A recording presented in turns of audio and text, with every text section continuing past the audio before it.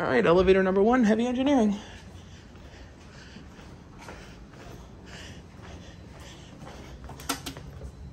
It's a mod, whatever the hell.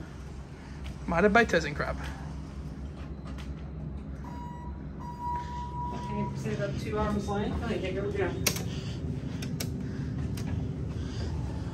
Eight grand capacity on this thing. And it is a large one. That's what she said.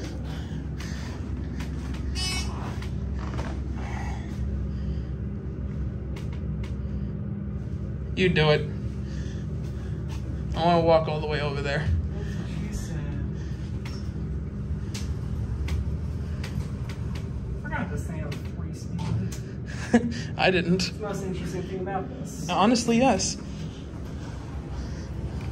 I feel like this could have been an Otis for one reason and one reason only.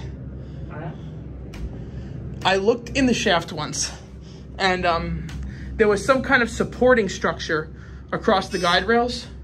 Macy's and Whitman's Freight had the same thing. It's plausible. The other one's Otis. Yeah, I want to say this is actually built around the same time as that. maybe. I thought Light Engineering was built in 68, but I think this might have been built in 68 as well. Quite possible. Maybe like 67. I think they were actually built around the same time. Yeah. This is the only one that serves three, so to speak. The other three is not a floor, it's the mechanical area. Then again, so is this three. There's nothing up here.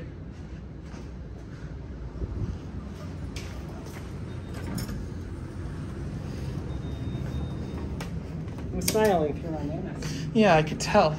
Got that shit eating grin that I'm used to.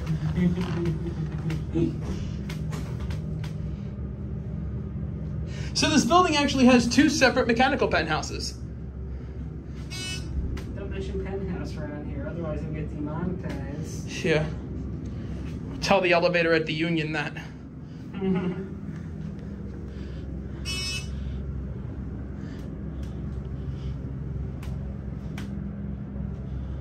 Syndicator's been fucked up or I've never seen it work.